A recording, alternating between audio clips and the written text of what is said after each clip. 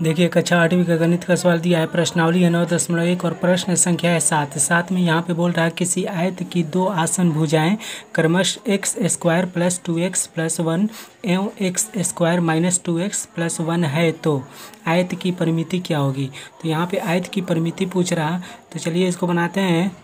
तो यहाँ पर लिखेंगे सबसे पहले हल, उसके बाद लिखेंगे आयत आयत की परिमिति, आयत की परिमिति। तो आयत की परिमिति बराबर होता है, आयत की परिमिति बराबर होता है दो गुने, है ना, आसन, दो गुने आसन, भुजाओं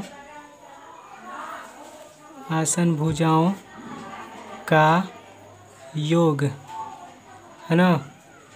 आयत की परिमिति बराबर होता है दो गुने आसन भुजाओं का योग। तो यहाँ पे देखिए, दो गुने का दो गुने लिख लेंगे, ठीक है?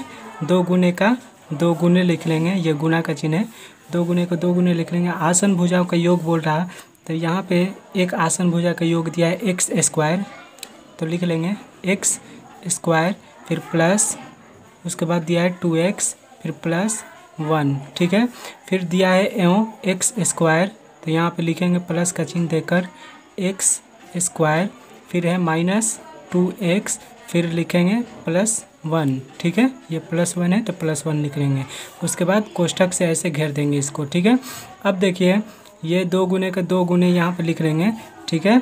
X square plus two x तो ये देखिए प्लस टू एक्स है और यहाँ पे माइनस टू एक्स तो टू एक्स को माइनस टू एक्स में घटा देंगे तो ये पूरा पूरी घट जाएगा, ठीक है? कुछ नहीं बचेगा, यह घट जाएगा। अब बचा एक्स स्क्वायर फिर बचा प्लस एक्स स्क्वायर तो इसको हम जोड़ देंगे। तो x x x square plus x square को जोड़ेंगे तो ये हो जाएगा आपको टू एक्स स्क्वायर ठीक है? अब देखिए प्लस का चिन्ह यहाँ पर लिखेंगे, ठीक है? उसके बाद एक, फिर प्लस एक दिया है तो एक को एक में जोड़ देंगे तो हो जाएगा दो। तो ये हो गया टू एक्स स्क्वायर प्लस दो, इसको कोष्ठक से घेर देंगे। अब देखिए, दो गुने two x square plus two दिया है तो दो को दो एक्स स्क्वायर में जो गुना कर देंगे, ठीक है? तो ये हो जाएगा दो दुना के चार, एक्स स्क्वायर, ठीक है? इसमें गुना करेंगे तो फोर एक्स स्क्वायर हो जाएगा, ठीक है? फिर दो को ये प्लस दो में गुना करेंगे तो दो दुना का चार तो ये हो जाएगा प्लस चार। ये हो गया आपका आंसर, ठीक है?